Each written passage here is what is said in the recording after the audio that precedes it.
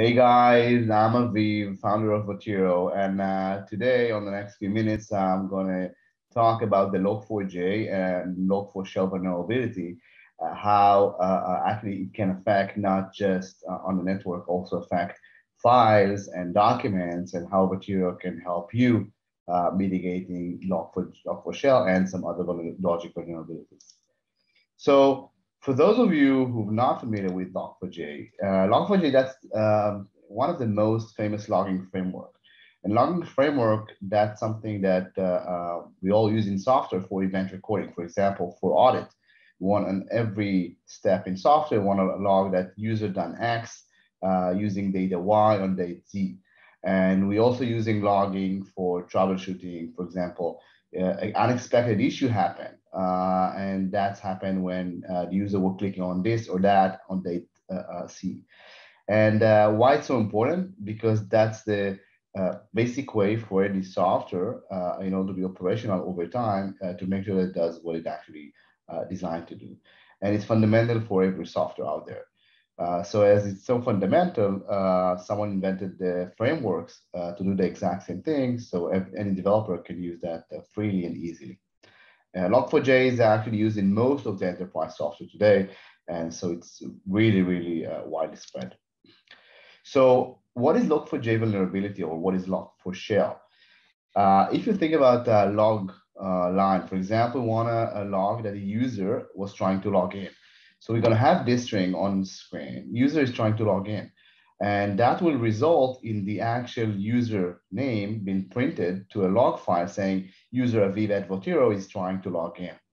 Uh, but what that uh, researcher found is that the login framework also accepts this special string, start with JNDI. And that's a special protocol that actually fetch additional code or extension from remote server. And that remote server can actually be specified as an attacker controlled server hosting a malicious payload. So in fact, if you're a user and you type in, for example, as a username, that special string with the attacker server host uh, and a malicious path, uh, it actually, uh, what it does is uh, actually fetch that malicious code from remote and execute that on the server that run that enterprise software, which is crazy, crazy, and really, really scary.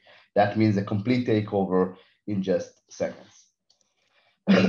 but it's not just the enterprise software like uh, websites that uh, are affected by this. For example, if you have a PDF processing software, let's say you have a client-facing portal where you get documents from client and you need to extract data or manipulate a PDF. For example, there is a, a pretty popular uh, uh PDF library called Apache PDF Box that use exactly for that. So any enterprise software can use that in order to manipulate uh, PDF content.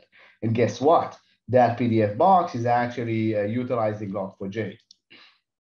So uh, uh thanks to uh, uh, that ELVY from GitHub, you can see the, the source on the bottom of that slide. he found that it's pretty easy to craft a malicious PDF uh, and that PDF library, PDF box, uh, it will log any malicious uh, object in that PDF uh, that is missing the correct format. That means that we can actually use a size attribute. Let's say that actually mentioned what is the size of the PDF. And instead of having the size in bytes, we just specify that weird string that will point to the attacker server.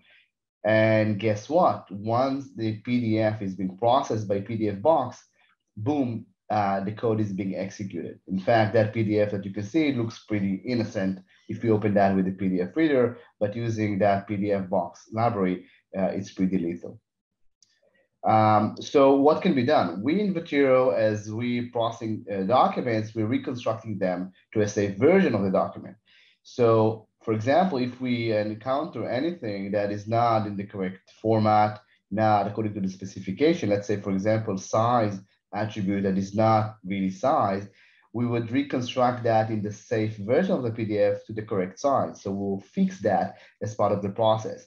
Again, we don't need to know that this is a vulnerability, but aligning everything in the document as part of the reconstruction, this is a, a crucial part in CDR and definitely in material um, product.